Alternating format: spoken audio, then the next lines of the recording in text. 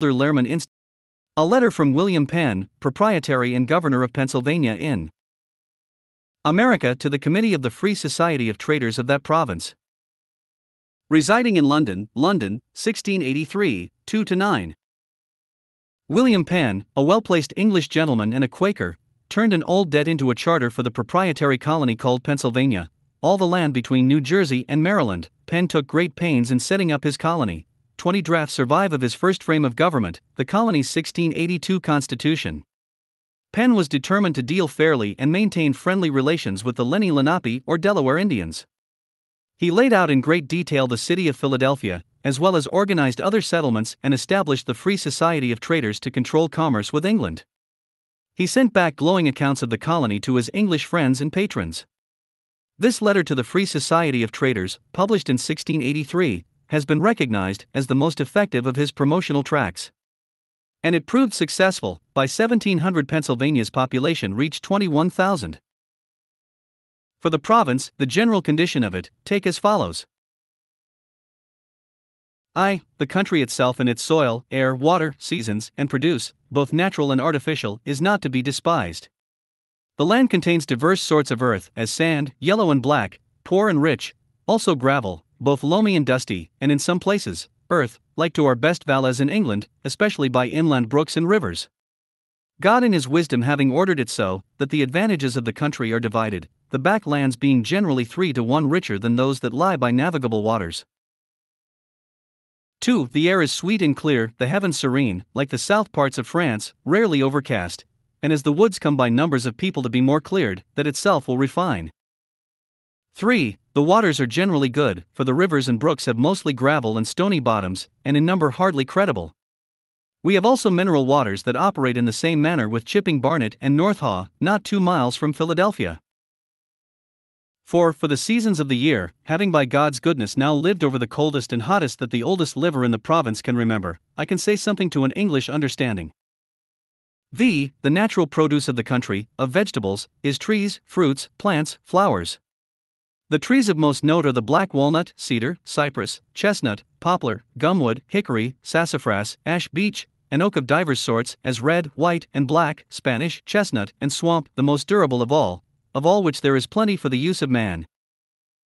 The fruits that I find in the woods are the white and black mulberry, chestnut, walnut, plums, strawberries, cranberries, huckleberries, and grapes of divers sorts. The great red grape, now ripe, called by ignorance the fox grape, because of the relish it has with unskilful palates, is in itself an extraordinary grape, and by art doubtless may be cultivated to an excellent wine. There is a white kind of muscatel, and a little black grape like the cluster grape of England, not yet so ripe as the other, but they tell me, when ripe, sweeter. Here are also peaches, and very good, and in great quantities, not an Indian plantation without them. 6. The artificial produce of the country is wheat, barley, oats, rye, peas, beans, squashes, pumpkins. Letter from William. Copy Watermelons, muskmelons, and all herbs and roots that our gardens in England usually bring forth. Note that Edward Jones, son in law to Thomas Wynne, living on the Schuylkill, had with ordinary cultivation, for one grain of English barley, 70 stalks and ears of barley, and it is common in this country from one bushel sown, to reap 40, often 50, and sometimes 60. And three pecks of wheat sow an acre here. 7. Of living creatures, fish, fowl, and the beasts of the woods, here are diverse sorts, some for food and profit, and some for profit only. For food as well as profit, the elk, as big as a small ox, deer bigger than ours, beaver, raccoon, rabbits, and squirrels, and some eat young bear, and commend it. A fowl of the land, there is the turkey, 40 and 50 pound weight, which is very great, pheasants, heath birds, pigeons, and partridges in abundance. Of the water, the swan, goose, white and gray, brants, ducks, teal, also the snipe and curlew, and that in great numbers, but the duck and teal excel, nor so good have I ever eaten in other countries. Of fish, there is the sturgeon, herring, rock, shad, cat's head, sheep's head, eel, smelt, perch, roach, and in inland rivers, trout, some say salmon, above the falls. Of shellfish, we have oysters, crabs, cockles, conches, and mussels, some oysters six inches long and one sort of cockles as big. As the stewing oysters, they make a rich broth. The creatures for profit only by skin or fur, and that are Natural to these parts are the wildcat, panther, otter, wolf, fox, fisher, mink, muskrat, and of the water, the whale for oil, of which we have good store, and two companies of whalers, whose boats are built, will soon begin their work, which has the appearance of a considerable improvement, to say nothing of our reasonable hopes of good cod in the bay. 8. We have no want of horses, and some are very good and shapely enough. X. The woods are adorned with lovely flowers, for color, greatness, figure, and variety. I have seen the gardens of London best stored with that sort of beauty, but think they may be improved by our woods. 11. The natives I shall consider in their persons, language, manners, religion, and government, with my sense of their original. For their persons, they are generally tall, straight, well built, and of singular proportion, they tread strong and clever, and mostly walk with a lofty chin.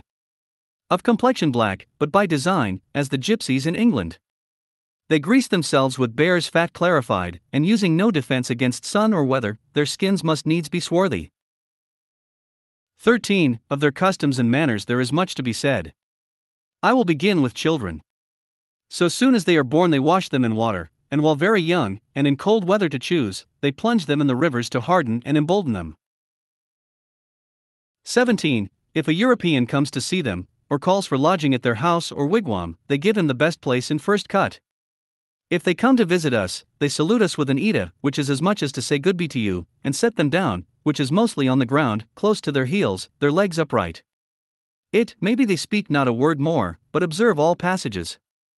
If you give them anything to eat or drink, that is, well, for they will not ask, and, be it little or much, if it be with kindness, they are well pleased, else they go away sullen, but say nothing. 19. But in liberality they excel, nothing is too good for their friend. Give them a fine gun, coat, or other thing, it may pass twenty hands before it sticks.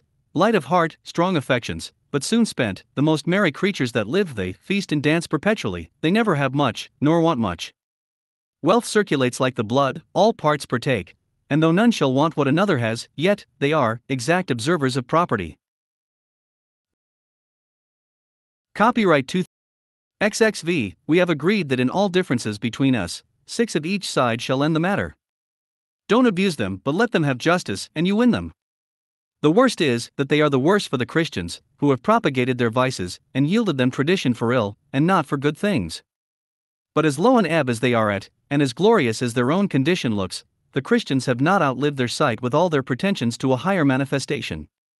What good then might not a good people graft, where there is so distinct a knowledge left between good and evil? I beseech God to incline the hearts of all that come into these parts to outlive the knowledge of the natives, by a fixed obedience to their greater knowledge of the will of God.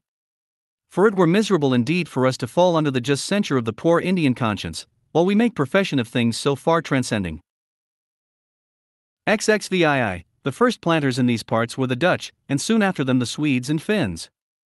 The Dutch applied themselves to traffic, the Swedes and Finns to husbandry. There were some disputes between them, for some years, the Dutch looking upon them as intruders upon their purchase and possession, which was finally ended in the surrender made by John Rising, the Swedes' governor, to Peter Stuyvesant, governor for the states of Holland, anno 1655. XXXI. And for the well government of the said counties, courts of justice are established in every county, with proper officers, as justices, sheriffs, clerks, constables, etc., which courts are held every two months. But, to prevent lawsuits, there are three peacemakers chosen by every county court, in the nature of common arbitrators, to hear and end differences betwixt man and man. And spring and fall there is an orphans' court in each county, to inspect and regulate the affairs of orphans and widows. XXXIII. Your city lot is a whole street in one side of a street, from river to river, containing near 100 acres, not easily valued, which is, besides your 400 acres in the city liberties, part of your 20,000 acres in the country. Your kind cordial friend, William Penn.